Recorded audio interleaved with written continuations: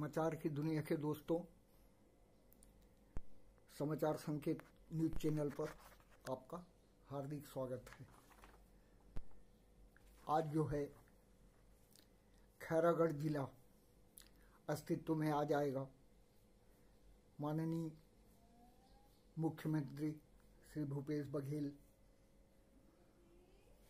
आज जो है, खैरागढ़ को जिला पूर्णतः घोषित करने आ रहे हैं। साथियों, इसी कार्यक्रम में खैरागढ़ के जिला खैरागढ़, नवनिर्मित जिला खैरागढ़ के विकास खंड छुई खजान के ग्राम कुटेली खुर्द के भूलाराम लोधी आत्मज गणेश राम लोधी। ये जिला राजनाथ गाँव के मुख्य निवासी थे। और इन्होंने फर्जी प्रमाण पत्र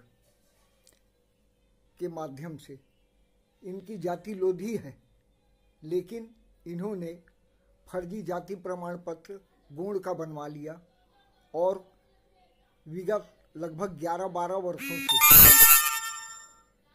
शिक्षक का कार्य संपन्न कर रहे हैं। इसकी शिकायत भी की गई, किंतु उसके बावजूद भी आज तक कहीं कोई कार्रवाई नहीं हुई है। अब आप इसका विस्तार से सुनिए और इनके चेहरे को पहचानिए कि ये कौन हैं। जो पूरे दीदा दिलेरी के साथ फर्जी प्रमाण पत्र से शिक्षक कार्य संपन्न कर रहे हैं और इसकी जानकारी शिक्षा विभाग राजनांदगांव शिक्षा विभाग रायगढ़, जहाँ ये कार्यरत है, और लोक शिक्षण रायपुर। सभी की जानकारी में है उसके बावजूद भी इनके खिलाफ कार्रवाई करने की किसी में हिम्मत नहीं है। अब आप विस्तार से इनके समाचार को सुनिए और देखिए। साथियों, यह है भोलाराम आत्मज गणेश राम लोधी का निवास प्रमाण पत्र, जिस पर सरपंच कुटेली खुर्द प्रमाणित कर रहे हैं लोधी आत्मज गणेश राम लोधी जो है, वह कुटेली खुर्द के निवासी हैं। उसके अतिरिक्त, यह जाति प्रमाण पत्र है, जिस पर सरपंच इस बात को प्रमाणित कर रहे हैं कि भोलाराम लोधी है। उसके अतिरिक्त, यह पाँचवीं कक्षा का कुठेली खुर्द का दाखिल खारिज प्रमाण पत्र दाखिल खारिज है, जिस पर भोलाराम आत्मज गणेश राम लोधी बताया जा रहा है और यह दाखिल खारिज पाँचवीं कक्षा का है। इसके अतिरिक्त इसके विषय में शिकायतकर्ता ने जिला राजनांदगांव शिक्षा विभाग शिक्षा विभाग, रायगढ़ व लोक शिक्षण सभी जगह इसकी शिकायत की गई, जिस पर जिला रायगढ़ शिक्षा अधिकारी ने इसकी जाँच किया और जाँच पर पाया गया कि यह जो है फर्जी जाति प्रमाण पत्र से, जिस पर इसने अपने आप को गुण बताते हुए सर्विस हासिल किया है।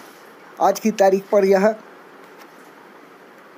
रायगढ़ के विकासखंड खरसिया के ग्राम गोरपार पर यह व्याख्याता के पद पर सर्विस पर है। यह राशन कार्ड है, जिस पर इसके पिता को बकायदा लोधी बताया जा रहा है। अब इस प्रकार यदि लोग फर्जी जाति प्रमाण पत्र से सर्विस करते रहेंगे तो बाकी बेरोजगारों का क्या हाल होगा? क्या जिला शिक्षा अधिकारी राजनांदगांव जिला शिक्षा अधिकारी रायगढ़ व लोक शिक्षण विभाग लोक शिक्षण रायपुर, इस पर कोई कार्रवाई कर सकता है? माननीय मुख्यमंत्री से अपेक्षा है कि वह नवनिर्मित जिला खैरागढ़ के रहवासी कुटेली खुर्द के भोला, भोलाराम लोधी बनाम बर्मन के खिलाफ तत्काल कार्रवाई करे, उसे बर्खास्त करे और उसके ऊपर दंडात्मक कार्रवाई करे। यही अपेक्षा है। जय हिंद, जय भारत, जय छत्तीसगढ़।